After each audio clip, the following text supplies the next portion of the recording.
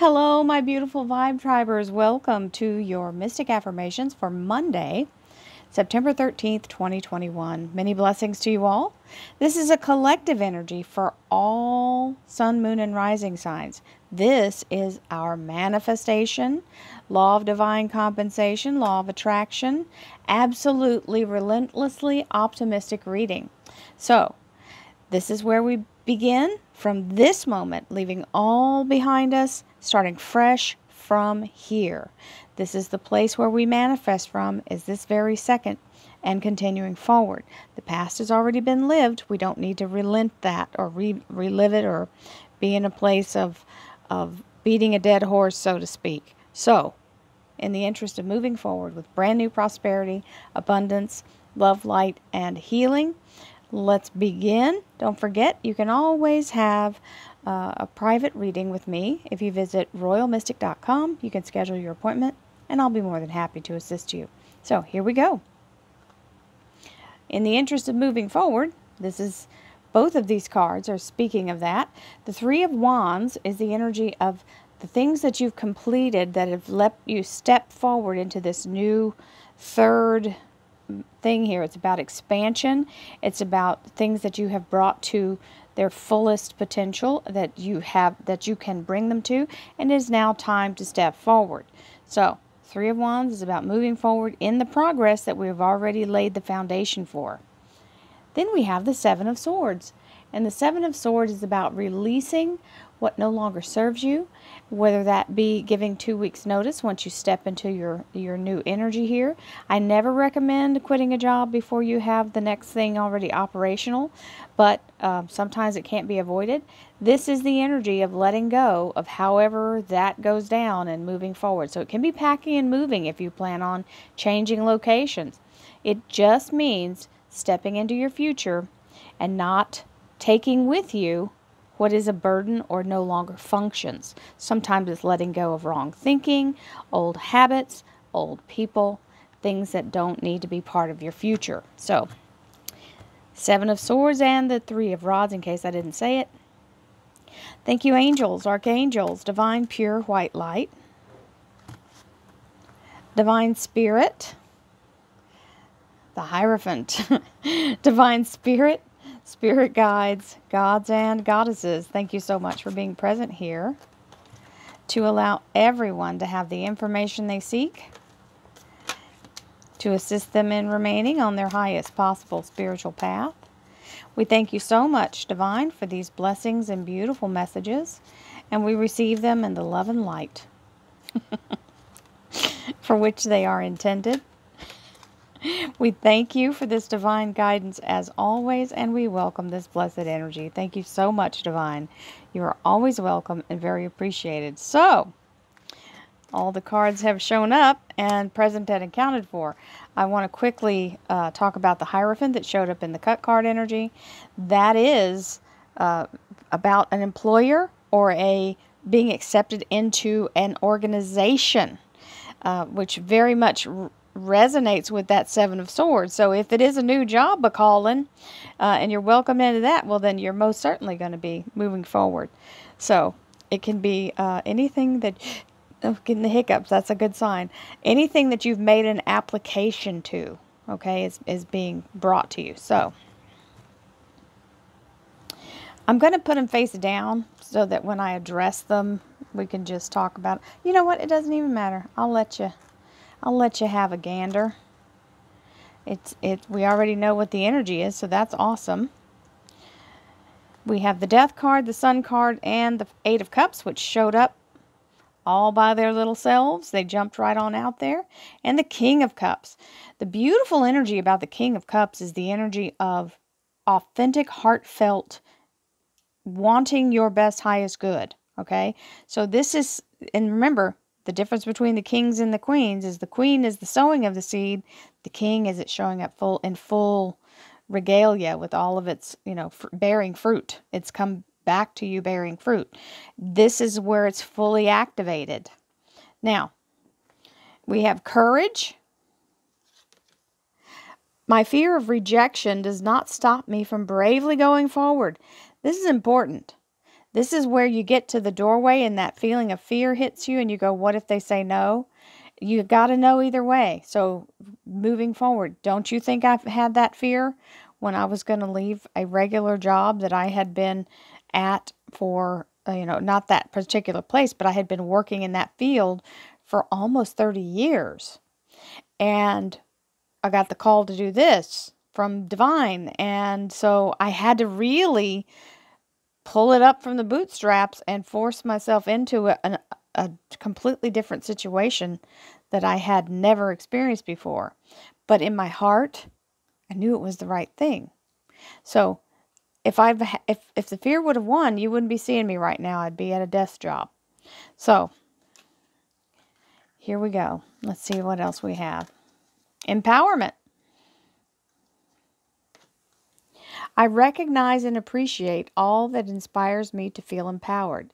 Empowerment is an individual energy. I can't make you feel empowered. You have to choose something about me or something that I say to you or something that I use to give you an example of what I did. You can use my inspiration to make you feel empowered, but I physically cannot make you be empowered. I can tell you from here to St. Swithin's Day how great you are and how magnificent of a human being and spiritual energy you are, but unless you believe it and take ownership of it, you can't be effective at it. That's as simple as it is, my darlings. There has to be a place where you overcome the fear and claim what you want. Communicate clearly. This is important. The things that you say out of your mouth, if they're completely opposite of what you're trying to achieve, if they're all the reasons why it's not going to be possible, or all the reasons why you're not the right person, you're confirming the opposite of what you're trying to do. You must speak as though it has already happened. To it, even if it's your just your inner voice, that's the most important one. What you're telling yourself is more important than any other voice out there. So pay attention what you're saying to yourself, what you're agreeing with within yourself.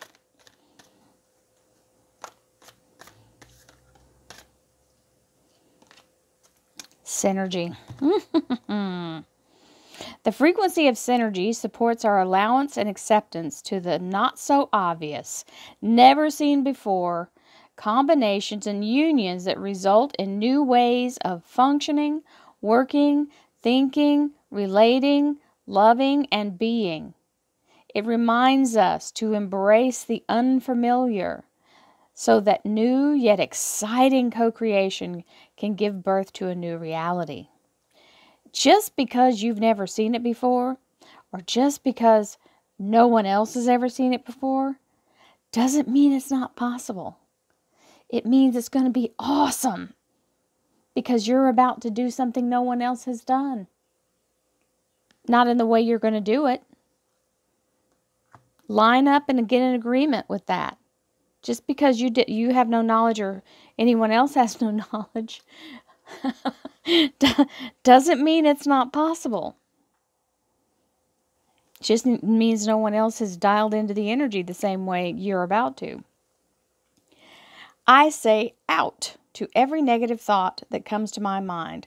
No person, place, or thing has any power over me, for I am the only thinker in my mind. I create my own reality and everyone in it. It is that simple. You take control and command of what the thoughts are that you're running in the background. If it is not productive and conducive to your wishes, you do not have to repeat that thought ever again. You can silence anything that is not part of what you're growing forward with. You just have to be aware of the background noise and understand what outside energies are affecting you. That's the awareness that comes in. My thoughts are creative. They are. They are living things because you are the one living it. I say out to every negative thought that comes to my mind. No person, place, or thing has any power over me, for I am the only thinker in my mind. I create my own reality and everyone in it. Remember, past um, old traumas, things like that, can scar you and can give you a uh, apprehension or a trigger but you're the one who gets to say the final approval of that being part of it right? So don't be afraid to counter well there you go to counter anything that's not that makes you feel nervous or afraid or apprehensive. Immediately seek out what triggered that because you can remove it like a weed from the garden when we create harmony in our minds and hearts, we will find it in our lives. The inner creates the outer always. And you saw that card jump out while I was explaining this very thing. so, this is the affirmation. When we create harmony in our minds and hearts, we will find it in our lives. The inner creates the outer always.